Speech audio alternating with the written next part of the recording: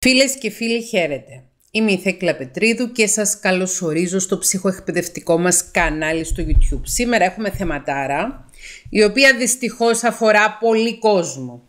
Όπως θα έχετε δει ήδη στον τίτλο, λέω σε μια φίλη, η οποία μου γράφει για την συνθήκη στην οποία βρίσκεται, την οποία ονομάζει rumination μετά από ένα χωρισμό, σταμάτα να τα αναμασάς, σταμάτα να τα μερικάζεις, αν ήταν ok, δεν θα χωρίζατε. Πρωτού ξεκινήσετε να παρακολουθείτε το βίντεο, για πατήστε ένα like, το θυμήθηκα, και μοιραστείτε το με τους φίλους σας στα κοινωνικά δίκτυα αν το βρίσκετε χρήσιμο, ενδιαφέρον και διαφωτιστικό. Λοιπόν, είναι μια κοπέλα αυτή η οποία σχολιάζεται συχνά κάτω από τα βίντεο αυτό το κορίτσι. Το συμπαθώ χωρίς να το γνωρίζω, γιατί μας έχει γράψει κατά καιρούς και ότι συγκατοικεί μαζί με τους γονείς της, ότι είναι φοιτήτρια και θα ήθελε να ζήσει μόνη της, όμως οικονομικά δεν είναι εφικτό, είναι σε ένα περιβάλλον το οποίο δεν είναι και ιδανικό. Θυμάμαι τώρα και ένα παλιότερο σχόλιο που είχε κάνει, προφανώς πρωτού χωρίσει, που έλεγε ότι καθόταν με το φίλο της και παιδιάριζαν και ότι πάνω στο αστείο πήγε να του πάρει το κινητό του και αυτός θύμωσε πολύ μαζί της, νομίζω ότι της είχε δώσει και έναν μπάτσο και θεώρησε απαράδεκτο ότι πήγε να πιάσει η κοπέλα του το κινητό του. Αν θυμάμαι καλά τώρα, ε, στα σχόλια η φίλη που ξέρει ποια είναι, αν θυμάται το βίντεο το οποίο έγινε με αφορμή εκείνο το σχόλιο, να το βάλει, βάλει εκείνο το σύνδεσμο σε σχόλιο, γιατί αντιλαμβάνεστε ότι πλέον με πάνω από 5.000 βίντεο έχω χάσει το μπούσουλα.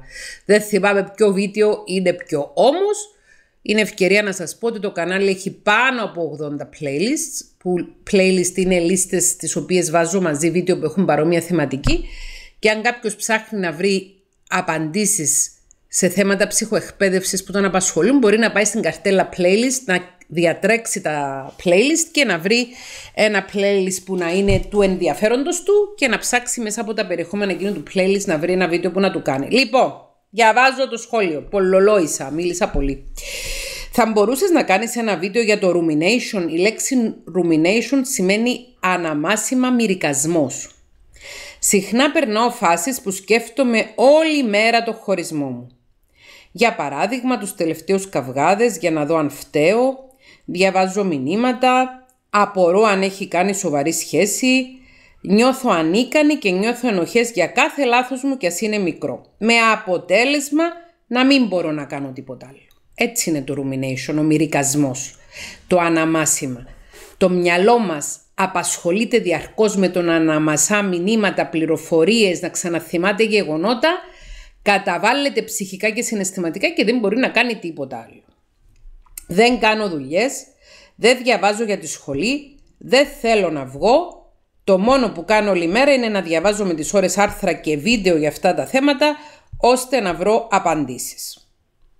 Τους πρώτους μήνες ένιωθα μίσος και θυμό που δεν προσπάθησε για τη σχέση μας. Έριχνε το φταίξιμο πάνω μου και μου φέρθηκε άσχημα. Οπότε αυτό με βοήθησε να προχωρήσω. Τώρα που έφυγε ο θυμός όμως, αρχίζω να αμφιβάλλω για εμένα και να νιώθω θλίψη. Ξέρω πως η σχέση μας δεν είχε σοβαρά προβλήματα και ήταν σε μεγάλο βαθμό υγιής. Εγώ διαφωνώ με αυτό. Ότι η σχέση σας ήταν υγιής ή ότι θα μπορούσες να έχεις υγιή σχέση με έναν τύπο με τέτοια συμπεριφορά όπως αυτή που μας περιέγραψες σε εκείνο το σχόλιο. Όμως εκείνος τα παράτησε και δεν γύρισε ποτέ. Έτσι κάνουν οι ναρκισιστές. Σε απομυζούν καλά καλά και μετά σε παρατάνε και δεν γυρνάνε πίσω. Ωστόσο εγώ δεν μπορώ να λέω ψέματα στον εαυτό μου ότι δεν γινόταν αλλιώς. Επειδή ξέρω πως ταιριάζαμε και χωρίσαμε επειδή ήμασταν άπειροι στις μακροχρόνιες σχέσεις και δεν ξέραμε πως να διαφωνούμε σωστά. Α, καλά. Ενώ με τις γνώσεις που έχω τώρα θα μπορούσα να το διαχειριστώ καλύτερα. Αγάπη μου, Αγάπη μου, αγάπη μου, είναι τεράστια παγίδα αυτή. Με τις γνώσεις που έχεις τώρα δεν θα επέλεγες αυτό το παλιόπεδο για σχέση. Είχα υπομονή και θέληση επειδή τον αγαπούσα και ήμασταν καιρό μαζί οπότε άξιζε τον κόπο. Δεν άξιζε τον κόπο επειδή ήσασταν καιρό μαζί και επειδή εσύ είχες υπομονή και θέληση επειδή τον αγαπούσες. Αξίζει τον κόπο όταν και οι δύο έχουν υπομονή και θέληση και οι δύο αγαπιούνται. Τότε αξίζει τον κόπο. Το να είμαστε καιρό μαζί με κάποιον δεν καθιστά τη σχέση να αξίζει τον κόπο να σωθεί. Είχαμε πει πως δεν θέλουμε να χωρίσουμε και τι μπορούμε να κάνουμε για να επικοινωνούμε καλύτερα.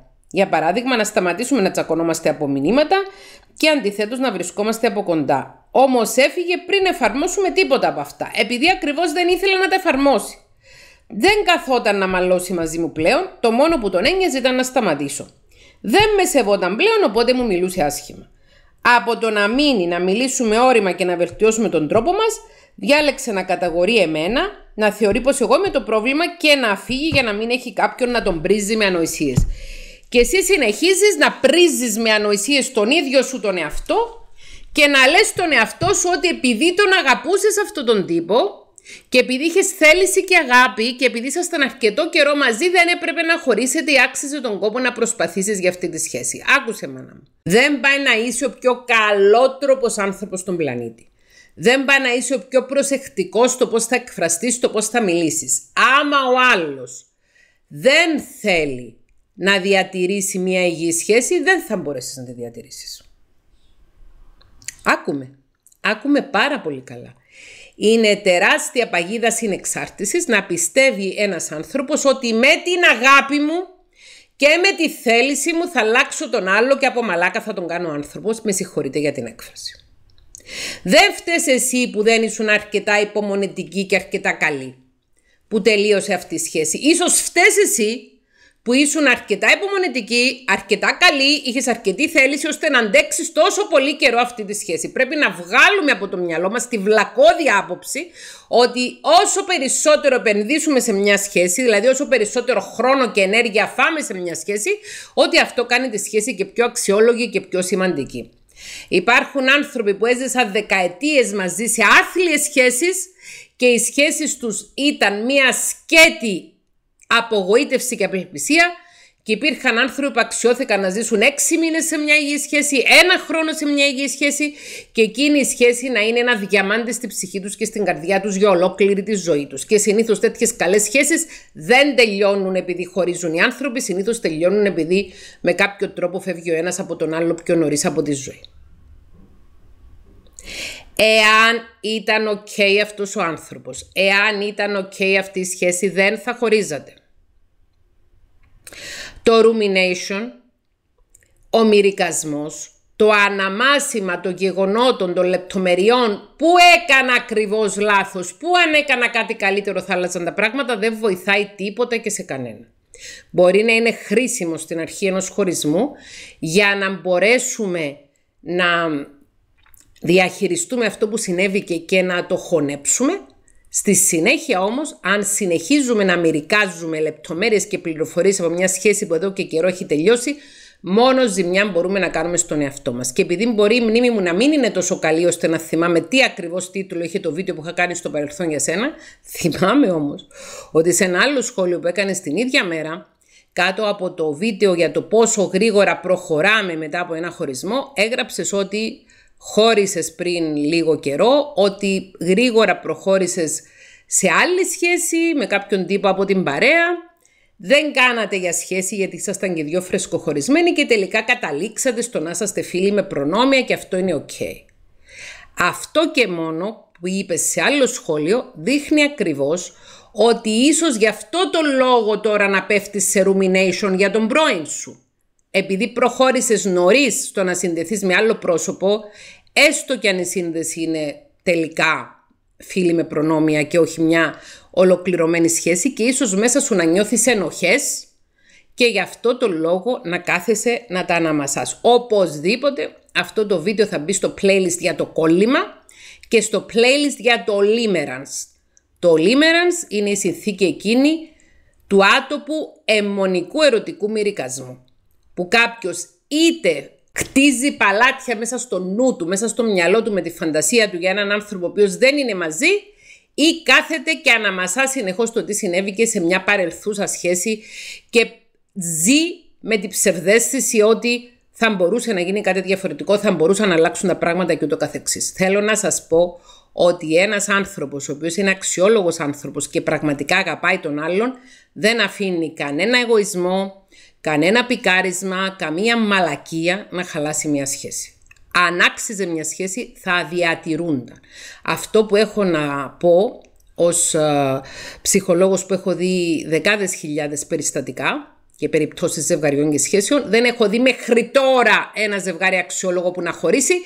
Αντιθέτως έχω δει πολλά αναξιόλογα ζευγάρια, πολλές κακοποιητικές σχέσεις, πολλές προβληματικές και τοξικές σχέσεις να συνεχίζουν επειδή ακριβώς οι άνθρωποι σκέφτονται, Μα έχω φάει πέντε χρόνια από τη ζωή μου για αυτή τη σχέση, δεν την αφήσω να φύγει. Α φάω άλλα πέντε, ας φάω άλλα δεκαπέντε, ας αρρωστήσω κιόλας, ας καταπιεστώ κι άλλο, ας βασανιστώ.